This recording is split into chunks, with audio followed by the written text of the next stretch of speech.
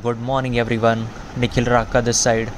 Welcome back to PhillipCapital India's daily market outlook for a banking Wednesday, that is 24th July 2024.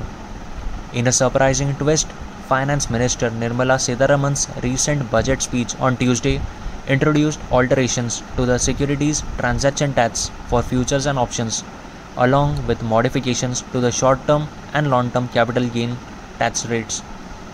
Ordinarily, such changes would provoke a negative market response, with repercussions lasting for several days. The Nifty experienced a decline on Tuesday following the budget speech. However, in a market supported by domestic liquidity, the recovery was rapid. Although the index ultimately closed negative, it managed to bounce back by 400 points from its lowest point of the day. So, what fueled the recovery? It was the FMCG sector.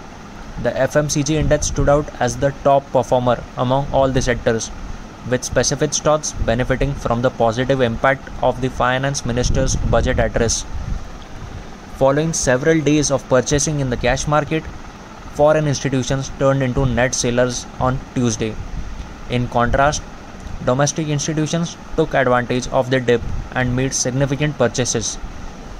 The volatility index, a key indicator measuring the market's short term volatility expectations, dropped by 17% to below 13. The Nifty Bank Index significantly pressured the market after the budget speech, losing over 500 points HDFC Bank and ICICI Bank were the main laggards, pushing the index below 52,000. On Wednesday, the Nifty Bank will be closely watched due to Axis Bank's result and the monthly option expiry. The sentiment is expected to remain weak in the short term as long as Nifty Bank stays below 52,100. On the downside, levels of 51,200 and 51,000 could be tested, while 52,100 to 52800 will act as the resistance levels. Thanks for tuning in. For more thrilling updates and market insights, make sure to subscribe the podcast. Investment in securities market are subject to market risks. Read all the related documents carefully before investing.